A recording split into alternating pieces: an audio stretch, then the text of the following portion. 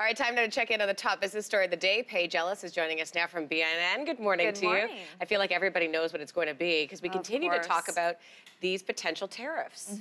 So there's not been much in the way of backing down in terms of the U.S.'s position. In fact, over the weekend, we heard some commentary uh, from advisors to the U.S. president that there will be no exclusions to these tariffs on steel and aluminum. That That was the hope, right? That Canada could be exempt. exempted. And the thinking, uh, according to the U.S. trade officials and, and White House officials, is that if they give one country an exemption, then they'd have to give everybody an exemption. We actually had U.S. President Donald Trump tweet about this very issue just uh, maybe a half hour ago, maybe less.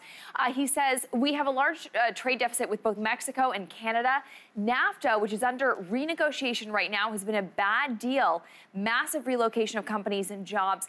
Tariffs on steel and aluminum will only come off if new and fair NAFTA agreement is signed. Much more pressure on those NAFTA renegotiators. And then he says that Canada hasn't has to treat our farmers much better. So a few few points there. One is that the NAFTA negotiators are now in a very very difficult posi- position more than they probably were in the first place.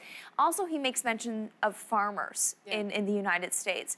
So if Canada wanted to retaliate, he's just given us a way mm. of making a very targeted measure that would hurt the U.S. agriculture He's sector. opened that door. He has opened that door.